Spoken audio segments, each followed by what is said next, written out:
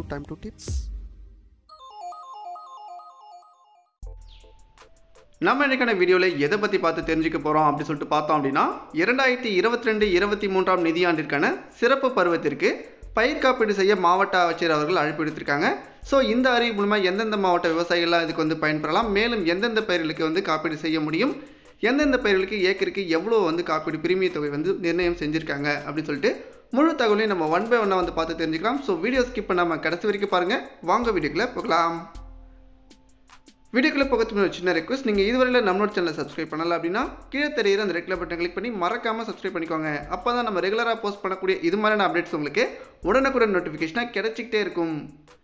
வேளாண்மை துறை மூலம் திருத்திய பிரதம மந்திரியின் பயிர் காப்பீடு திட்டம் நடப்பு ஆண்டு ரெண்டாயிரத்தி இருபத்தி ரெண்டு இருபத்தி மூன்றாம் சிறப்பு பருவத்திற்கு பயிர் காப்பீடு திட்டம் செயல்படுத்தப்பட உள்ளது.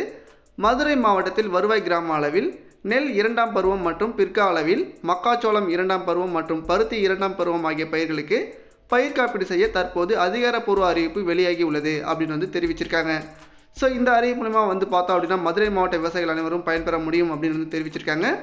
நெல் இரண்டாம்பட்ட பயிர்களுக்கு பிரீமிய தொகை ஒரு ஏக்கருக்கு ரூபாய் ஐநூற்றி பதிமூணு ரூபாய் நிர்ணயம் செய்யப்பட்டுள்ளது.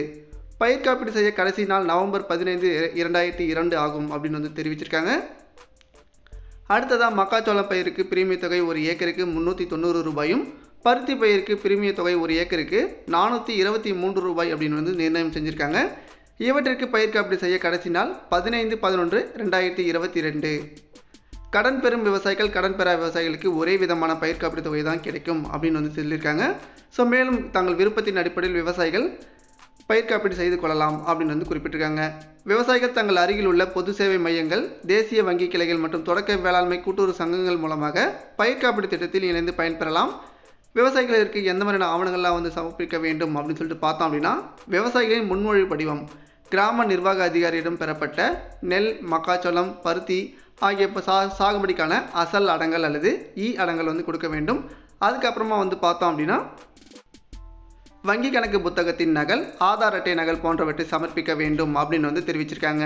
விவசாயிகள் பிரதான் மந்திரி பயிர் காப்பீட்டு திட்டத்தின் கீழ் நெல் மக்காச்சோளம் பருத்தி ஆகிய சிறப்பு பருவத்திற்கு உரிய தேதிக்குள் பதிவு செய்யுமாறு மாவட்ட ஆட்சித்தலைவர் அவர்கள் தெரிவித்துள்ளார் அப்படின்னு வந்து குறிப்பிட்டிருக்காங்க.